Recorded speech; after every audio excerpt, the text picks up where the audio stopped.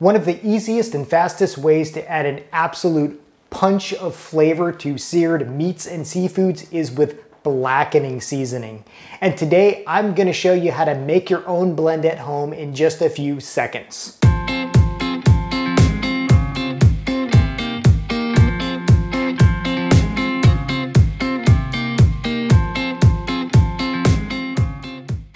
Hello and welcome to I Wanna Cook. My name is Chef Matt and this channel is all about helping you be a better cook no matter your skill level. And today I'm gonna show you how to make a really quick blackening seasoning. Now, first of all, just to get you up to speed on blackening, it actually refers to a couple of things. First of all, a blackening is, is a seasoning, yes, but blackening is also a type of cooking method. Uh, now, both of these things are usually associated with the Louisiana region and Cajun cooking. And when you're blackening food, what you're doing is you're coating it in this mixture and then you are putting it on a ripping hot pan. Cast iron works great for it.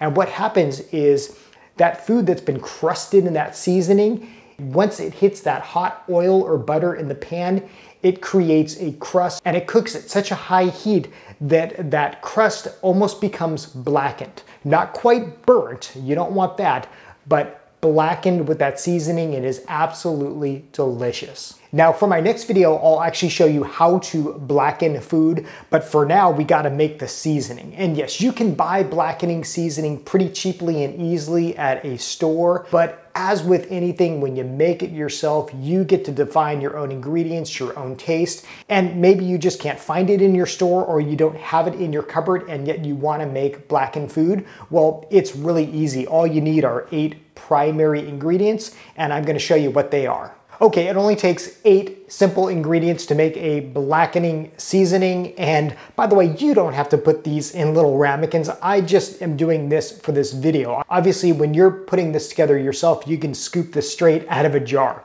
So here's what we got. Uh, and you can always uh, kind of tailor this recipe to your taste.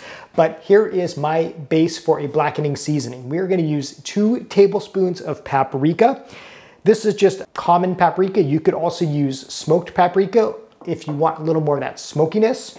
We have one tablespoon of salt. This is kosher salt. It's a little coarser and it has that little extra crunch. Then we have two teaspoons of onion powder. Put it right in here. We have two teaspoons of garlic powder.